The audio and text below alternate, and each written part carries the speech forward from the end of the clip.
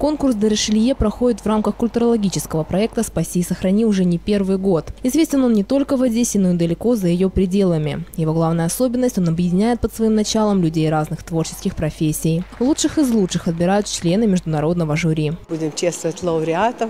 В этом сезоне у нас огромное их количество. Мы работаем и во славу Одессы, процветания нашего родного города и мира в мире. Одна из лауреатов конкурса, известный исследователь истории Одессы Ольга Богданович, получила диплом в номинации «Авторская книга».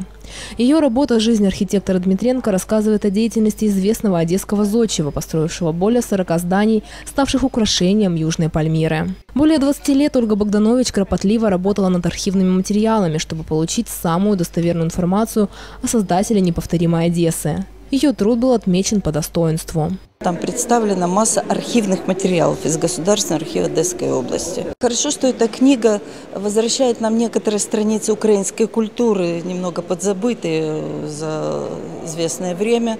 Э, там описана жизнь, вся жизнь, весь жизненный путь этого архитектора, который родился, жил, творил, э, умер и был похоронен в Одессе. Писатель и библиограф Ольга Богданович известна своими работами по истории города.